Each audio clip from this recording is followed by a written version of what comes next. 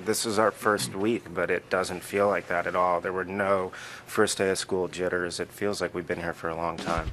That's Johnny Galecki on the set of The Big Bang Theory in 2007, dishing on how he landed the role 10 years after his sitcom Roseanne wrapped. When Chuck called me initially, I was doing a play in New York. I was not actively looking for a live audience show for a long time after Roseanne, just because was just You did it. showing. I did it, and I did it mm-hmm. for five years, and you want to kind of mix it up a little bit, and I did that, and it was great. And while fans have come to know and love Johnny as Leonard, My name is Dr. Leonard Hofstadter, and I could never please my parents, so I need to get all my self esteem from strangers like you. But he's worse! he was actually up for a different role. Initially, he said you're going to be playing Sheldon. I said, "Well, I'm really kind of more driven to this to this character," which I, I'm I don't even remember why I said that at the time, but I'm glad I did because I couldn't I can't hold a candle to what Mr. Parsons is doing in that role. He's just so incredible. Are there any chopsticks? You don't need chopsticks. This is Thai food. Here we go. Thailand has had the fork since the latter half of the 19th century. And prepping to play a super genius on screen took a lot of prep work.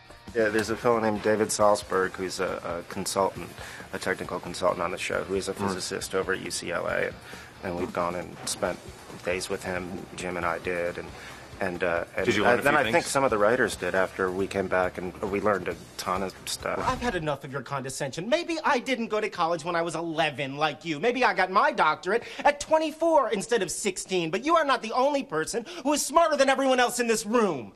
No offense.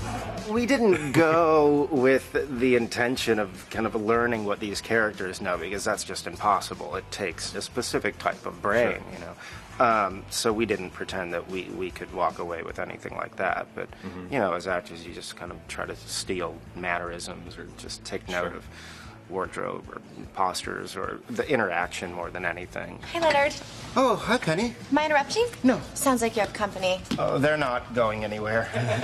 Johnny also gushed over his co star, Kaley Cuoco, the only woman on the cast at the time. She said that she enjoys that. Well, we'll talk to her in a few months, but you know, hanging out with, with boys all the time.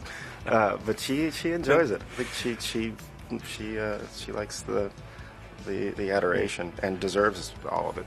And he also opened up about his character finding love. I'm sure that there will be a lot of stumbling and tripping on the way. Oh, hi, Penny. So you're coming from work. That's great that you're home from work. How was work? Well, it's the Cheesecake Factory. You know, people order cheesecake and I bring it to them. Sweet.